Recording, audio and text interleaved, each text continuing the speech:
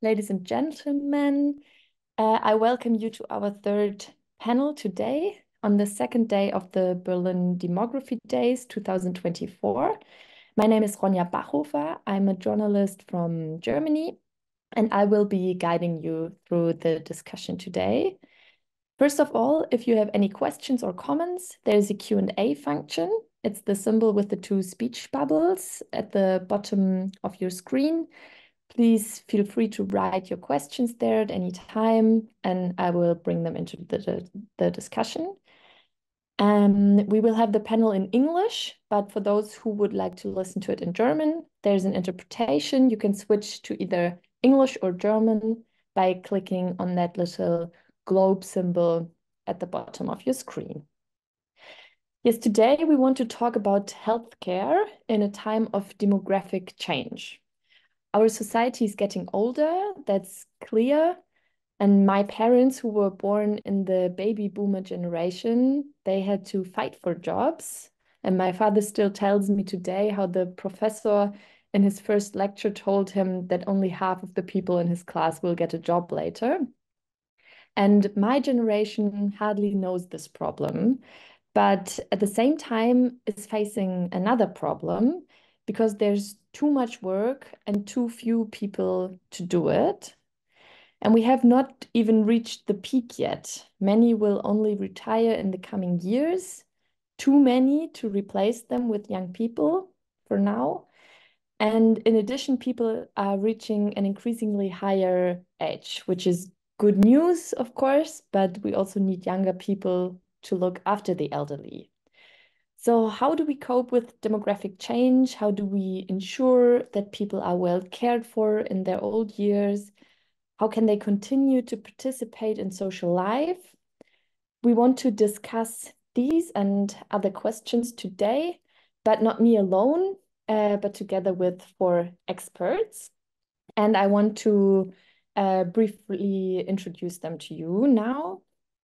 Um, Jane C. Falkingham is professor of demography and international social policy, vice president of the University of Southampton, and director of the ESRC Center for Population Change.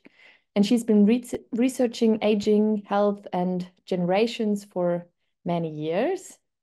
Thiago Hérick de Sá is a technical officer for age-friendly environments at the WHO, so the World Health Organization. And age-friendly cities and communities can improve access to important services and support healthy aging through different measures that um, he might explain to us later on. Adam Rogalewski is Policy Officer for Health and Social Services in the European Federation of Public Service Unions, and he represents European organized civil society in the European Economic and Social Committee, uh, where he also drafted the first EU policy paper on home care workers. And last but not least, Daniele Vignoli is Professor of Demography at the University of Florence. He's currently the scientific coordinator of the project AGED, Aging Well in an Aging Society, and he's investigating demographic changes regarding the aging process of the healthcare workforce. And in this context is also looking at the role of migration in the healthcare sector. Um, yet I looked it up uh, before. The average woman in Germany has 1.36 children, and this is one reason why there are fewer and fewer young people. And I would like to ask you, Mrs. Falkingham, maybe for this to start with, um, what are other reasons?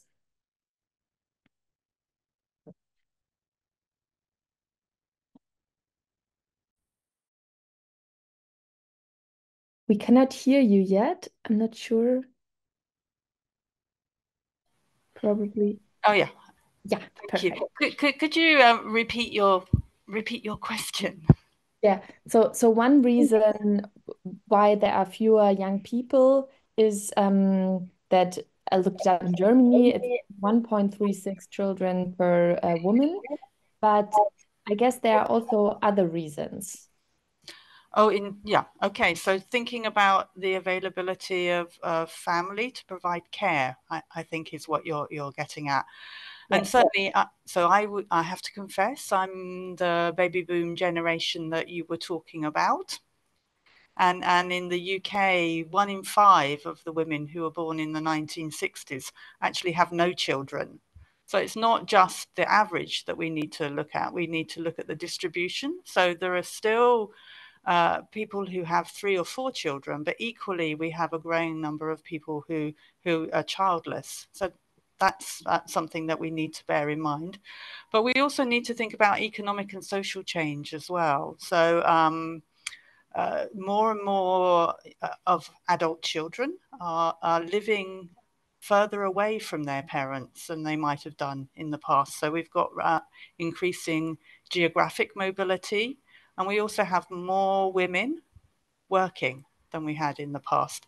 Um, that's not to say that adult sons do not take care of their parents, uh, but primarily uh, the the burden of particularly of personal care tasks falls to women. So if we look at the gender division of, of caring for older parents, um, sons tend to do, come and do the gardening and do the physical tasks around and, and perhaps also manage the finances, whereas it would be the daughters who are actually providing the more intimate personal care tasks. And because more people are working, and particularly more women are working, then you've got a decline in the availability of adult children to provide care. So that is something that is changing. Definitely more. More women are working, of course, but um, the garden work. well, more women, more women are, are economically um, active, and and also that they are uh, and more people live geographically distant from from their parents' generation. So if we're thinking about uh, the ability to rely on adult children to provide informal care in later life, then there are um, uh, increasing pressures on on adult children. And also, if we think about the changing life course, those adult children uh, are now providing care to parents. I'm providing care to my mother. She's in her 80s. I just had a big birthday, actually. I, I just had a birthday with a six at the beginning of it. And um, that means that um, actually there are grandchildren also to provide care for. So in terms of sandwich generations, with there are lots of competing demands, lots of um, economic and social roles that people are having to occupy simultaneously. And one, uh, the, some of the work that we've been doing in Southampton has been looking at um, the ability of people to combine work and and, pair, and, and caring. And what we found is that um, people can provide care up to a certain level in their 50s, but once it becomes more intensive, people actually then face uh, the, the decision, do I continue providing care or do I continue to work? and people are actually exiting the labour market. So we found that that people in their 50s, particularly women in their 50s, when faced with intensive caring, were actually making the decision to withdraw from the labour market, which means that employers are losing access to an, a talented pool of people. Mm-hmm, I see. So, so families and also jobs are are changing. Um, what does the fact that people are getting older mean for the healthcare system? Maybe that's a question for um, Mr. Vignoli.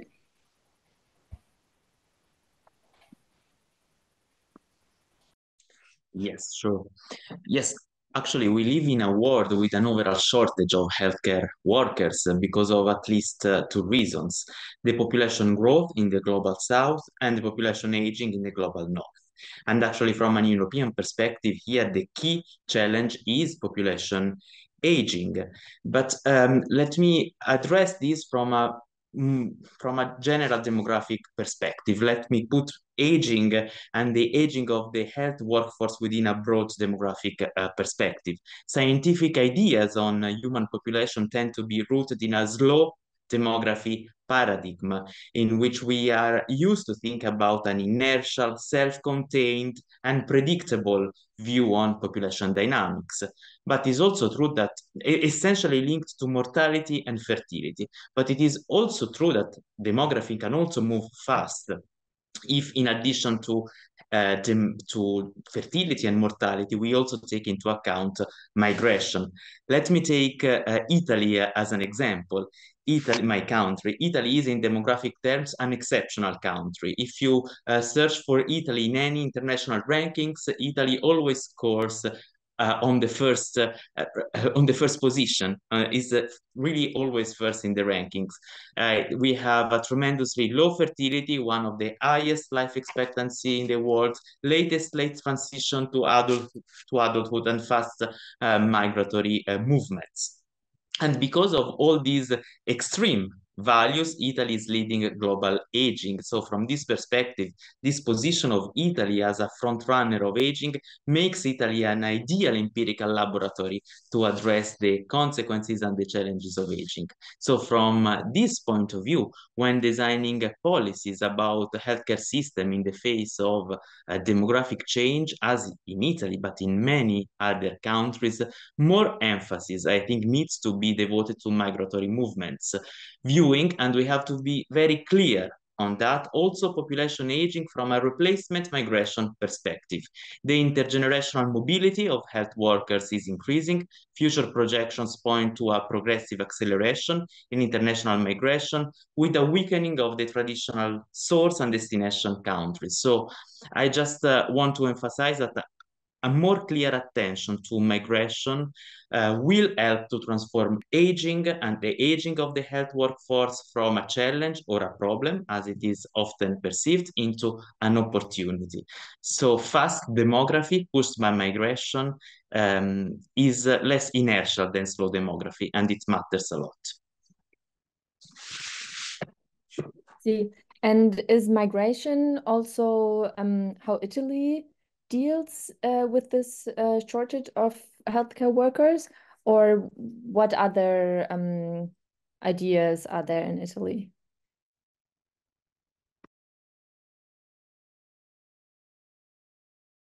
Sorry, we cannot hear you. Yes, yes, yes. Uh, generally speaking, uh, um, when uh, um, empirical uh, data are sparse, and when empirical data is sparse, like uh, it is the case of uh, Italy, demographic methods are often very essential, uh, especially to estimate entry and exit to a population. And what we are actually discussing in Italy is if we are not considering migration, so the, the key point is we need to bring migration into the discussion. Without considering migration, uh, the point is that uh, uh, as health workers approach retirement, adequate numbers of new potential healthcare workers needs to be educated, recruited, and retained. And a key issue is also uh, we need to minimize early retirements by uh, reinvesting in major health workers via supportive policies and practices. So really we need specific guidelines to have a smooth, uh, a smooth, a, a smooth transition to retirement and also minimize early retirement. This is what we are actually discussing, but we really need to also bring the idea of migration. Otherwise, it, it does not only, it doesn't work. I see. Thank you. Um, Mr. Rogalewski, among other things, you also deal with the work of employees in home care. Uh, what is changing at the moment for this group of workers? Because I imagine the work is really stressful, um, and is that always getting worse? Yes, you could hear me now. Uh, I mean, yeah, the, the, situation of the of the workforce uh, in the care homes is, I would say, tragical after the, in particular after the COVID pandemic, where we see that um, the work has become very uh, intensive. There is the shortage of the of the of the of the workforce, uh, so there is not enough uh, personnel uh, at the care homes. Uh, there was cases in particular in doing the night shift that there's one nurse responsible for 20 or 30 care recipients and in, in relation to that, uh, I think we, we really observe the situation whereby uh, very, very few people wants to uh, be a carer. I talked uh, recently to our colleagues from, from Germany, from Verdi members, and uh, one of the uh, care workers was telling me that uh, she has a kids and she doesn't want her kids to be a, a worker, no, because it's not giving any satisfactions uh, anymore uh, because of the increasing uh, staff uh, shortages. And when we talk about staff shortages, we need to really look at this from the holistic perspective. So it's not only about, I would say, wages, although they are extremely important, but the average wages of nurses or care workers are sometimes lower the wages of care workers are sometimes lower than average wages in some uh, countries. But also in general about the working conditions. Now we have a situation in terms of mental health, so psychosocial factors, but we also, and this is really increased as a result of the pandemic, uh, more and more violence against the healthcare workforce. We call it uh, third-party violence because we see that if there is, you know, you cannot deliver quality care, and if you cannot deliver quality care, the patients and also the families are become very upset and you know they, they complain or in some cases uh, being uh, very aggressive. So I think here is this all the issues which are very much related to the situation of the care workers because, and this is important to highlight, care sector was neglected for a long time. Uh, in particular in the UK, it's a very good example now that the local authorities are responsible for the um, long-term care, whereas for the health is NHS. And you could see that as a result of that, a lot of uh, local authorities got bankrupt because they couldn't uh, provide uh, uh care homes. So I think here's the, the situation that's uh, um, that if we don't change it, uh, then we will see a really dreadful um, background of, of the care homes where by no one from the local population would be interested in working there. And adding to that, we also need to uh, have the discussion about migration. As Daniela was saying about we need to have migrants. That's of course we need to have migrants, but quite ethical discussions here. But why we want migrants to suffer exploitation on very bad working conditions that they are now. No, I mean this is really not fair to uh, to fill the staff shortages in a care home by inviting people coming from other countries. This is not really uh, sustainable, and this is not really possible. So I think here we really need to address this. And maybe I could also add the situation about the the workforce getting older as well, no? And when you get older, you have uh, increased uh, risk of having other uh, illnesses. Uh, we know that, for instance, in the healthcare sector, the biggest problems are musculoskeletal disorders. So, you know, when the problems with your back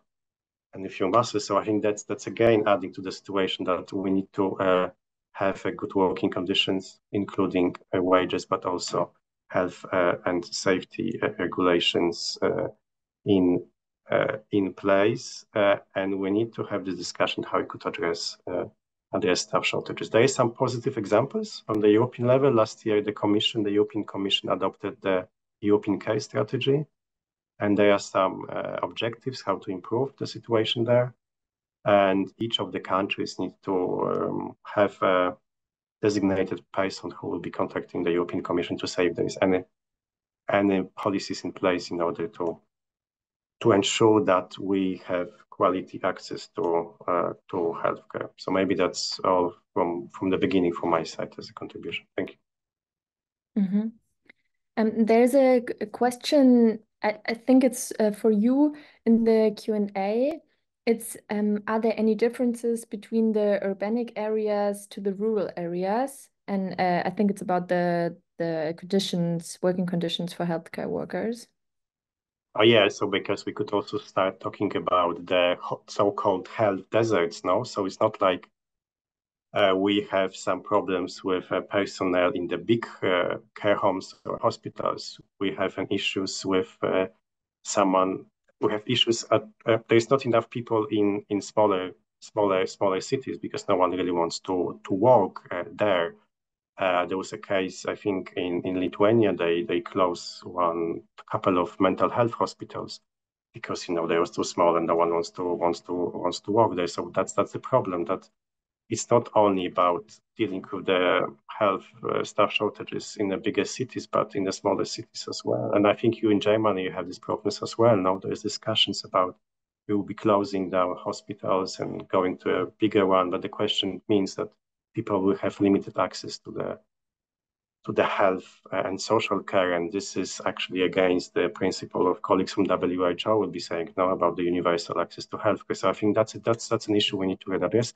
There are some positive aspects. I think in Sweden the mm, the the government is paying extra money for some workers who wants to work in you know uh, rural areas which are located far away from the from the from the big cities.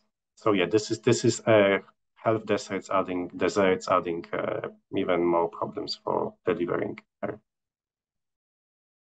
Mm-hmm. Yeah, I can believe that also elderly people uh, suffer under the conditions of uh, healthcare workers.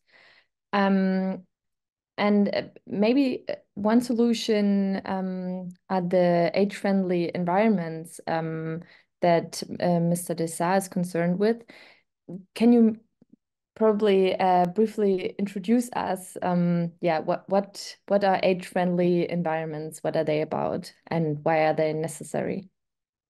Of course, I can, Ronja. Many thanks for the invitation and for the colleagues that are part of the panel. But before I go there, I just saw that uh, Professor Falkingham had uh, her hand raised, so I just wanted to double check whether she would like to come in before I address uh, your question. Thank you. Uh, thank you. I was just really reflecting on, on Adam and Daniele's um, comments and just I think both of their their their um, responses just highlight how complicated this whole picture is. So um, I think we we do need to have a, a, a, national and an international debate around how we take care of our older people and how we value care work because I think that's what Adam is really saying. It, it, you know, the wages in in the, the informal or the formal care sector are, are very very low.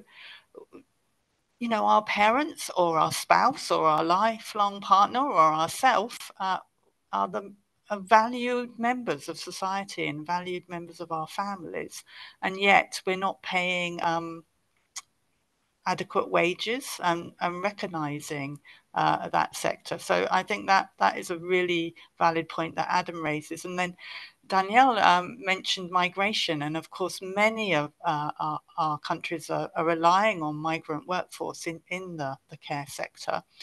Um, but that is then taking away workers from the other end of the chain. And so there is actually some really interesting work on on um, on chains of care migration. So, for example, in the UK, a lot of work in, in uh, care homes up until um, Brexit uh, was carried out by workers from other European Union countries, particularly Romania uh, and uh, A8 countries, which were then leaving gaps in their care sectors, and their care were then being filled by migrants from Central Asia.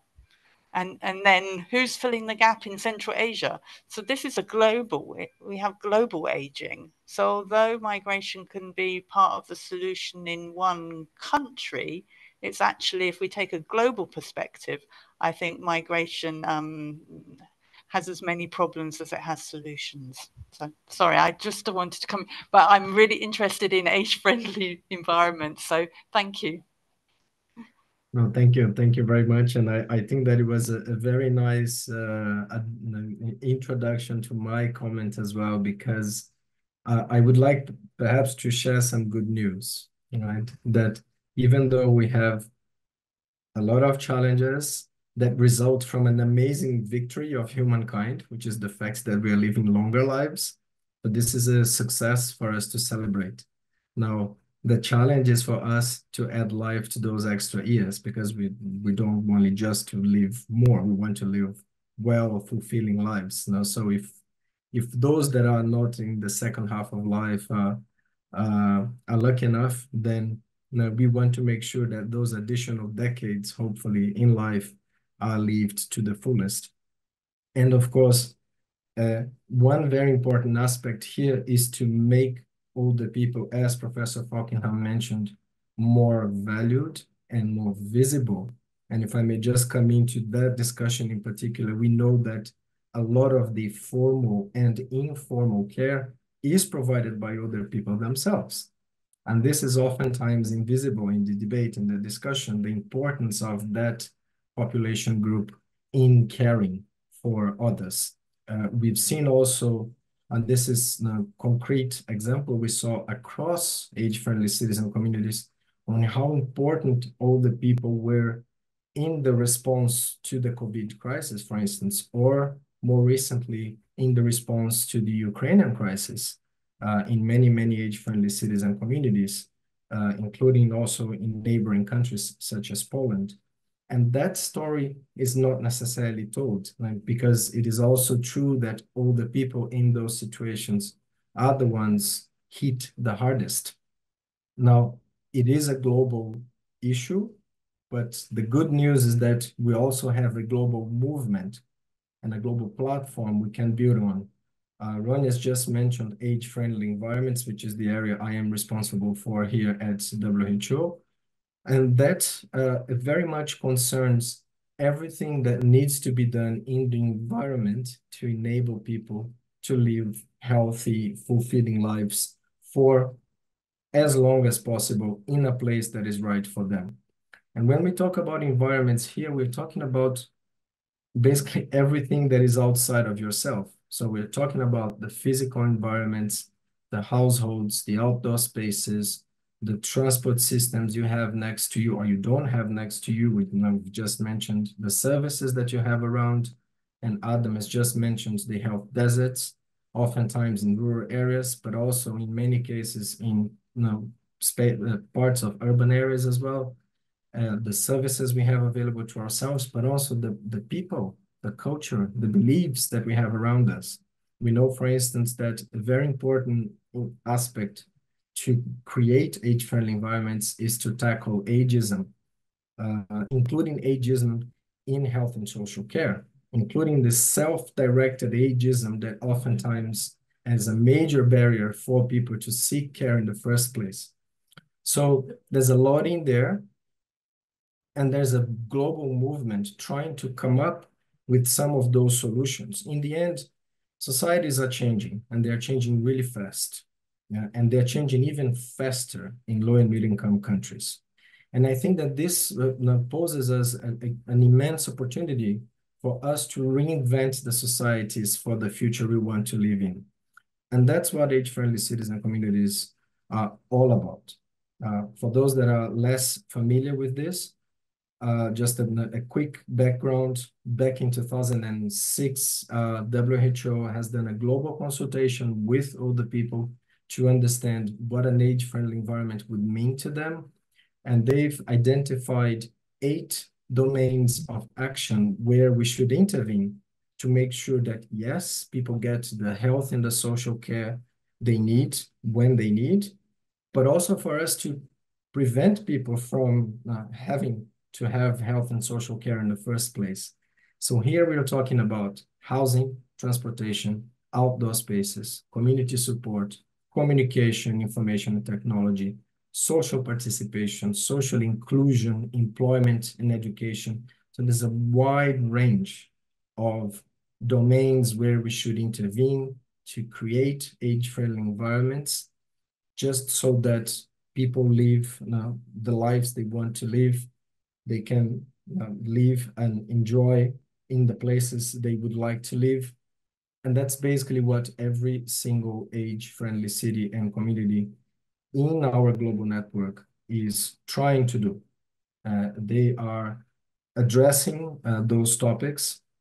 And at now we have uh, 1,005, over 1,550 cities and communities. Pleased to say that we have three in Germany. It's a growing number.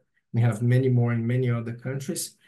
And these cities and communities, also rural, remote, indigenous communities in over 50 countries from around the world, they're really trying to come up with those solutions, now addressing, uh, implementing interventions in all these domains.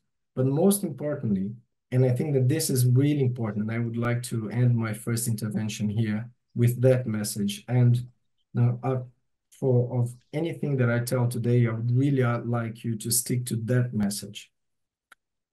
Most important than having older people as beneficiaries of whatever we do or don't do on those environments, older people need to be agents of that transformation we need to put the mechanisms and the systems in place for the people to be engaged in the transformation of their communities. And this is what age-friendly citizen communities are doing from around the world, from assessing the situation, identifying the priorities, adapting the solutions to their specific context, whether it's a large city, a rural community, an indigenous community, to then evaluating what has been done and then rerunning this whole cycle again. And I think that this is really important because ultimately we don't want to develop societies for this and the future generations of all the people for them. we need to do it together. We need to do it uh, with them, with the meaningful engagement of all the people throughout this whole process. Mm -hmm, I see. Um, you still need uh, people working for transportation and health and and all those subjects you mentioned um also in these in these um, age friendly cities right? Or or are elderly people um included and and care for each other? Oh definitely. And and and and if we are successful in creating environments that foster the abilities of all the people, that foster a healthy aging throughout the life course, then ultimately people will arrive at the end of their lives uh, much more able and capable to continue do the things they want to do or to change their course in life to perhaps you know, go back to school or take up on a new job, do things that matter for them. The problem today is that we, in most places around the world, uh, we do not have environments that are conducive for that. So again, we are in a way in a, in a, in a dire need to reinvent the societies we live in because the demographic change together with urbanization, with climate change, and many other major global trends are completely reshaping the way we organize ourselves.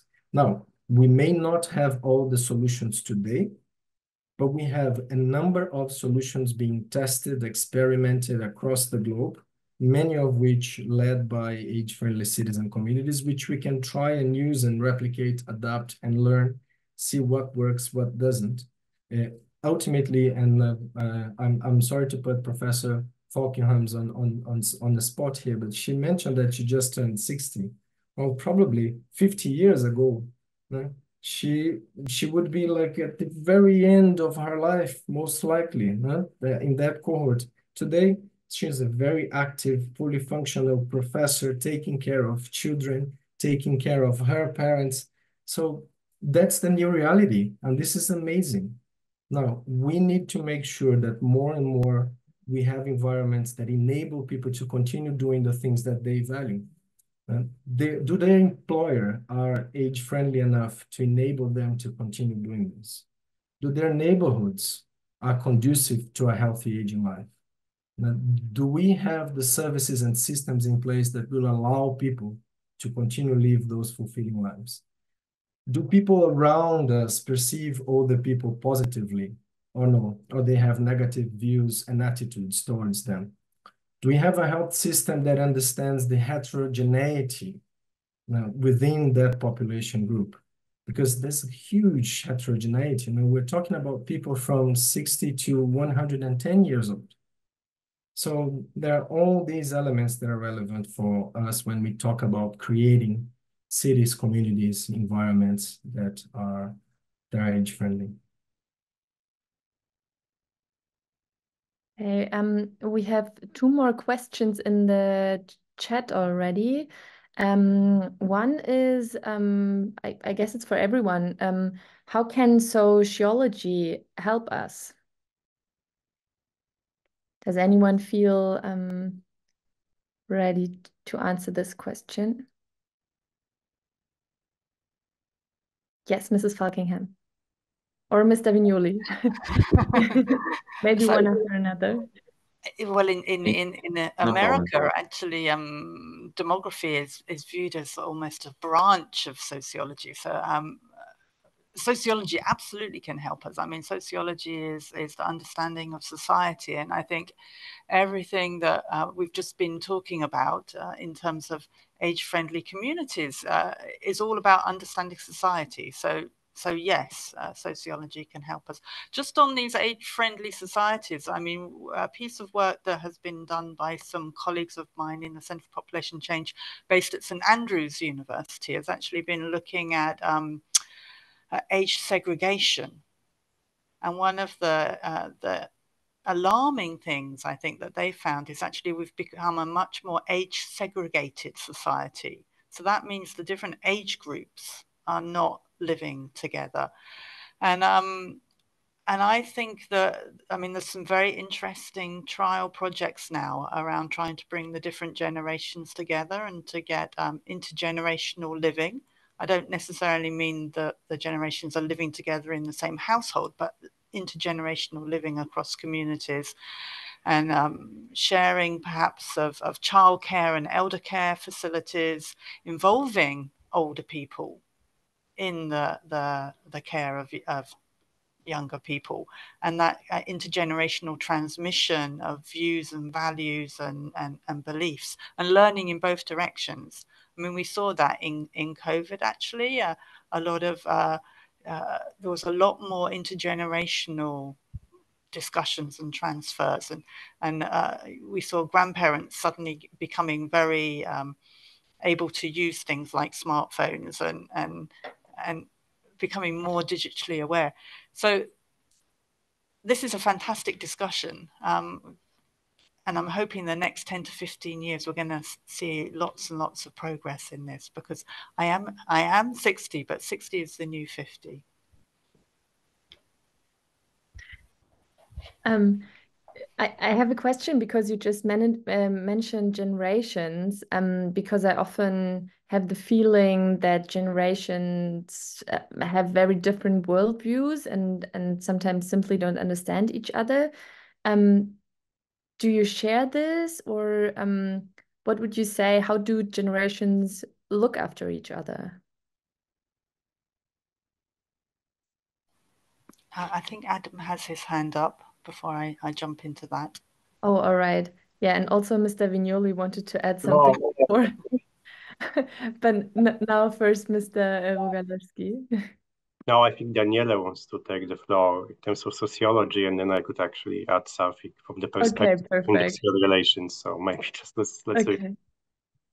Yes, of course. I was uh, thinking that um, no, first of all, I really like this positive view on population aging in the sense that uh, we are researchers, so we need to find solutions and we need to be uh, proactive. So the way we need to address aging is really in a proactive and positive way to transform it into an opportunity eh, for the inclusiveness of our society across all ages.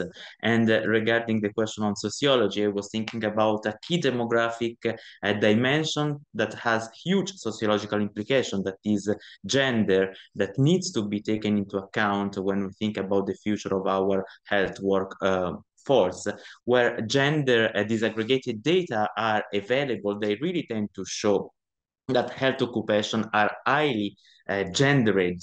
And uh, um, from a demographic perspective, what I think is that these gender stereotypes are a constraint to men to enter uh, female-dominated professions like uh, care. There are some cultural expectations that uh, women need to care about the elderly, which are totally uh, challenged by the actual situation, and also women entering into male-dominated professions. And these kind of gender stereotypes are reducing the pool of potential recruits. And in a world with an overall shortage of health workers, this is just a, uh, significant waste of uh, resources. So we really need to think about how to address also gender equality into the healthcare system. And I think this is demography and also sociology. Uh, usually we think about demography as a cross-discipline. We don't need only a discipline, we just need a transdisciplinary approaches here.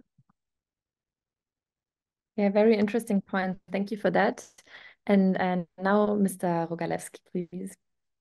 Yes, I just want to add it from maybe my field because I did a PhD in industrial relations. I think we really need to focus on, on the on the on the work, how we work, and that's very very important for us because we are still at work now. We work longer. Uh, also, we work in different places. Some of us are working from home, but I think this is extremely important to uh, how to tackle the issues of of uh, of demographic change and and all um, aging of the population, we need to increase work-life balance. No, that that's the issue. So if you have more work-life balance, then we could actually look after our elderly population. We could look after our kids, of our our parents. That's one issue, and we already have some examples of uh, how to improve work-life balance. That's what we are discussing as a trade unions with employers how we could make the profession more attractive no? Because uh, the problem in in the health is that you know you, we work shifts so we cannot really work maybe part-time or a couple of hours there and there.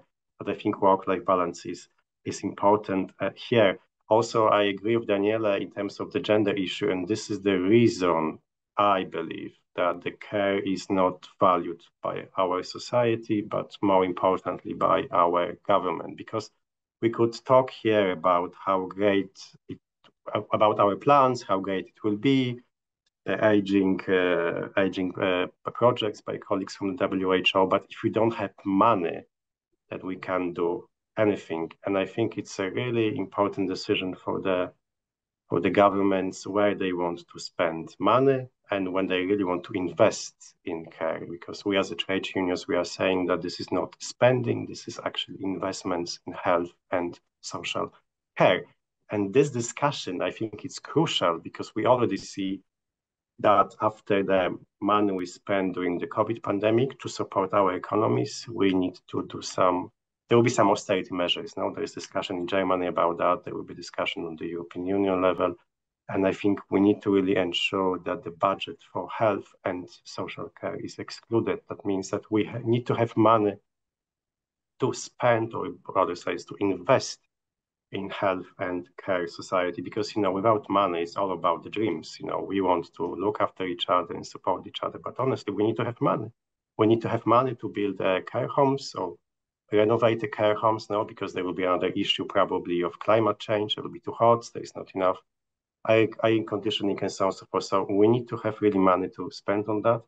And when it comes to how we are looking after each other, I think we need to have more democracy. And I think when we have uh, community work, so democracy on the community level, but also democracy at the workplaces, and this is why the trade unions are, to have the Works Council or trade union representations, and then we could deliver a lot. We are luckily on the European level, we have a social dialogue with employers organizations from Germany, but also NHS still. And we have some, we develop some uh, proposals in terms of how to address staff shortages. But for us, it's extremely important to address the retention of the healthcare workforce. And I think here, uh, when we have this debate about health, we should really not forget about the the um, the, the workplaces, the world of work, because uh, it's everywhere. And luckily, on that level, we have a legislation in relations to occupational health and safety, because this is which is related to you know, European Union has competences, and we could develop a lot. So maybe I just want to add one of our proposals is to have a special direct directive on on mental health, which will help to uh, address the issues relating to protections from our health.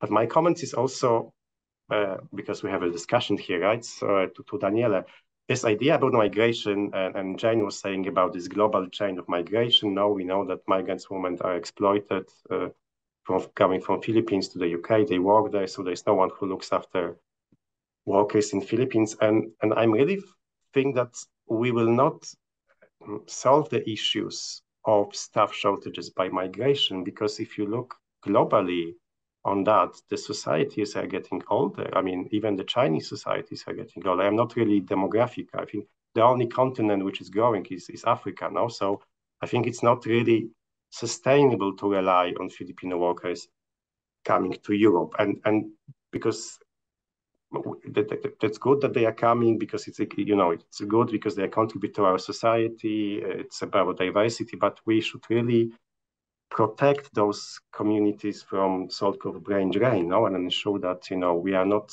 uh, taking the workers from outside who are being educated by by the money of their fellow citizens. So I think that the question is here: is it really like we could rely on migration? Because I don't think globally uh, only Africa has a positive no uh, um, childcare rates. So that's my question here.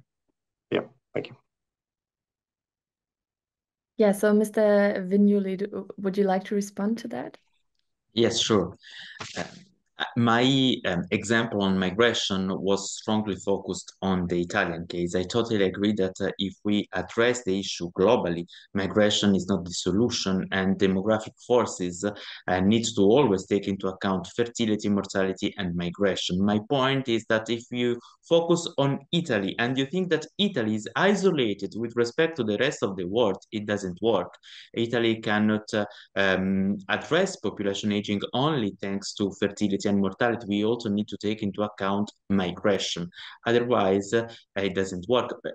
The population aging is not only about the elderly. Aging is a demographic process. Aging is also about the loss of young adults. Uh, show, uh, is about declining fertility. And in Italy, since we have declining fertility since the 70s, we now have a reduced pool of potential parents. So there is not only the issue of how many children on average we are having in Italy, is that also we have fewer parents having children and the lost parents cannot be recovered anymore, can, uh, unless we uh, allow migration to enter the country. So I think that the demographic process is global. If we take into account our perspective from some European societies like Italy with our government, we have to be very clear that to address aging is not only about fertility and family and i'm a, I i'm a fertility researcher so i work a lot on um, work-life balance how this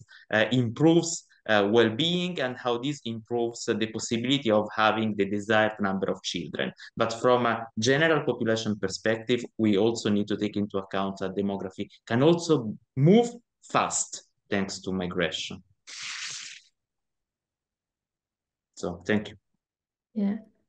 I'm I'm just thinking um like I, I would be very interested in your uh, opinion about AI or or robots or um anything like that? Like would would this be a real alternative as we have a shortage of of humans? Who who can take care for elderly people? Yeah a really interesting question. And actually um, there is a, a, a project going on right now in in hampshire which is um, in the south of, of england just close to southampton where um, they're working with care so Hampshire County Council, I think, has um, bought 20 care bots and are putting them in their care homes and doing an evaluation on, on how these are working. And actually, um, they're working pretty well, but they're not an alternative to people. They're a supplement to people. Um, and so I think, yes, AI, yes, uh, uh, technology can uh, can improve uh, the quality of, of healthcare and the quality of, of social care.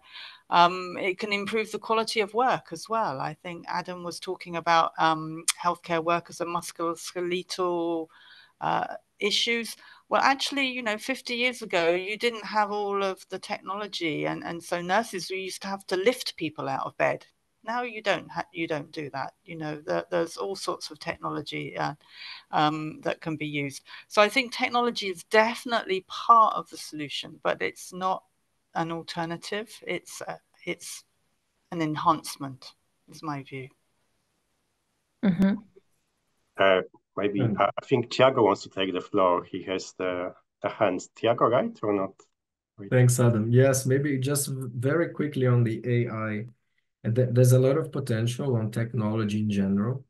Uh, I invite the colleagues to have a look at the global database of age-friendly practices, where you will see how not just AI, but technology in general is being applied to try and address social isolation and loneliness, to improve uh, the way uh, health and social care is provided. But I would like to echo Professor Falkingham's points that uh, all those technical technological solutions, they they may help, and we need evidence, way more evidence on a lot of those initiatives. They may also cause harm, so we have to be attentive to that. And when it comes to AI specifically, a risk that is elaborated in one of the uh, pieces, briefs of the connection series for the UN Decade of Healthy Aging is that we know that a lot of the data that is used to develop some of those AIs are biased.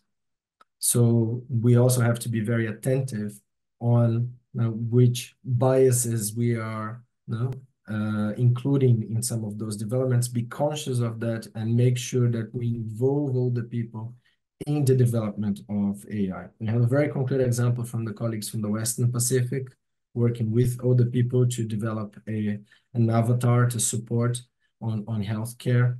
So more of those examples, not joint development, joint design with other people is really important. Just two quick points on my side uh, in the previous points. One, to echo what uh, Adam has mentioned, money, and I would even go beyond, resources are really important.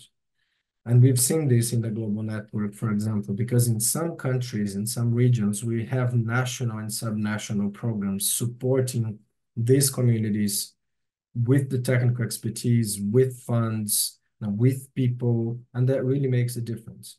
Now, there are certain things that only local authorities can do, and there are certain things that only the national level can do. And of course, these attributions will change depending on where you are. But ultimately, you need a system, and you need to make sure that every single layer of that system is properly funded and financed. Uh, and then I would encourage in the same global database, uh, you to have a look of the amazing initiatives around age-friendly employment, including in the health sector and age-friendly lifelong learning. So a lot of people after retirement, they want to do something else. They want to study, they want to pursue another career. And we need to you know, enable them to be able to do so. Last point from my side. Intergenerational contacts is one of the three evidence-based solutions to combat ageism. The other ones are policy and law and educational campaigns. So it's really important that more and more we foster these types of contacts. This needs to be planned properly. Otherwise, again, you may cause harm. Uh, we've just developed a guide called Connecting Generations to help people planning and implementing intergenerational activities. And here it's really important for us to change the mindset because oftentimes when we talk about intergenerational contacts, we think about an older person, 60 plus, and, a younger person, a teenager. But yesterday I was having a conversation with uh, one of our age-friendly communities, and they were reporting that actually people wanted to have intergenerational contacts between like uh, people 60 years or more and people of uh, 40 years or more. Those are also different generations. They come with a different background. So intergenerational contacts span across all the generations from, um, from 5 to 105. Thank you very much. Um, Mr. Rogalewski, you're raising your hand. Yes, because I when I always participate in those meetings about the staff shortages in the healthcare sector, they always those two issues came came up. One is about migration, that we need to recruit more migrants, which is true, and another is about artificial intelligence.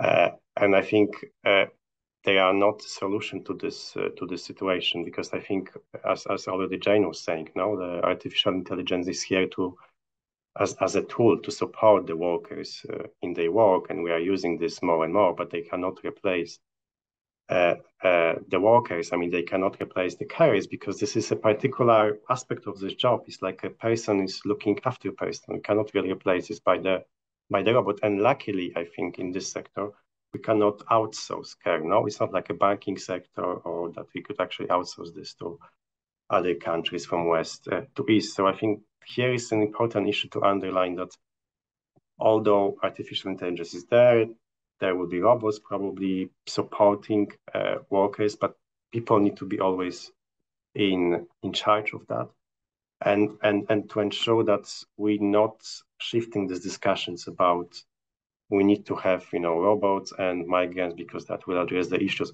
I think what we are missing here and, it, and it's it's a, it's it's a big discussions about how we could make sure that the work in the health and social care is attractive and is being sustainable. Because it's also again this debate it's not that we have uh, staff shortages across all of the occupations. Some occupations have too many workers. You know, I mean, the problem is we have too many lawyers. I mean, I'm being myself, no? And why do we need lawyers? You could really replace very soon notary or solicitor by the computer, probably be doing this quicker, faster, and cheaper.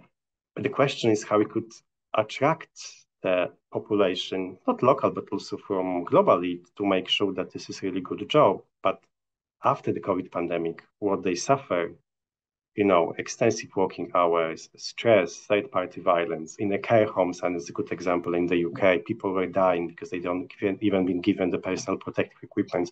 We need to really ensure that this is the sector that people wants to work and you could make a career. So I think it's it's very important to for us and for our society to focus exactly what Thiago was saying about how our society looks like and what kind of jobs we need and what kind of jobs not because do we really need to have a communications people? Like you know those who are putting things on twitter or facebook do we need this? Are there essential jobs or not? We need to start thinking what are essential jobs for our society because some of the jobs are not essential now and the question the covid pandemic showed that which jobs are essential for us to suffer to survive and which not. And um, being you know doing pr for instance although it's important here for colleagues i don't know it's really essential. That's that's my short comment because I think we really need to close this uh, this panel very soon, right? Because we are finishing. Yeah. Yes, we we are running out of time. Um, and I still I also have two questions um in the chat, but I also want to give you to the opportunity to uh, respond to Mr. Rogalewski's question on on how we um, can make the job as, as healthcare workers um, more attractive. If, if anyone wants to add something um, to that. Otherwise, I, I can also continue with the questions in the chat. Okay. Well, maybe I can be very briefly, right? Mm -hmm. So the first is recognize and acknowledge the outstanding work, the essential function that they perform in society, and the recognition and acknowledgement that comes with decent salary, decent working conditions, uh, uh, lifelong learning opportunities, a proper retirement, non-ageist uh, policies towards retirement, an age-friendly environment at the workplace. So there's a number of things that we can put in place you know, to ensure that people are retained and more than that now are happy with the work that they do and with the contribution that they provide to society. And then at later life, I have a strategic planning for people, for those willing to continue working in those positions or being involved in those positions to ensure that we don't lose that amazing assets that we have while at the same time uh, enable people who want to take a different career to do so last but not least, to make sure that the informal caregivers are also protected, respected, supported, trained, and acknowledged in society because there's a huge invisible contribution done by informal caregivers, oftentimes older women, to go back to Daniele's point, that is not necessarily acknowledged, that is not part of the economy, that is not part of uh, what society recognizes and values. Um, thank you very much. Um, I want to get back to to one question in the chat, maybe very briefly, because we we actually we're already um, at the at the end of the panel. Um, it's about the generation uh, question we had before. What are some of the ways that we can bridge the generational gap between the younger and older people so that there is a mutual understanding that aging is a process for everyone? I think maybe for you, uh, Mrs. Falkingham. Thank you. Um, so I think actually um, Thiago's put some uh, a link in the chat, so that uh, I think that would be really really helpful. I, would start off by um, putting out a challenge um, that perhaps the gap between the generations isn't quite as big as is portrayed by the media. So it's really interesting that um, in the United Nation, in the United States, there is um, generational politics, but actually in Europe, that's not that historically that has not been the case. So we may be divided on all sorts of lines um, uh, by income and by gender and, and, and by ethnicity, but actually by generation we're less divided. And um, and most of us still live in families and we actually are exposed to the different generations through our family networks and through our social networks. Um, so I'd start off by challenging whether the generations are really as divided as we think they are. However, having said that, of course, there are um, there are ways in which we can strengthen the, that understanding, and in order to strengthen that understanding, we have to be exposed to each other. So we have to actually have places where the generations come together outside of the family as well as inside of the family. So thinking around um, communal activities, thinking around schools and, and other places where, where the different generations can come together and actually talk to each other. Okay. Thank you very much. Uh, thank you very much for this active discussion. Unfortunately, we're running out of time. I would have loved to continue uh, discussing uh, with you and, and talking with you. Um, yeah, if you haven't had enough yet, you're welcome to take a look at the other discussions. There's one more uh, today at 5.30 p.m. We will continue here under this link uh, with a panel on the topic of war and health. Just stay logged in or join us later under the same link.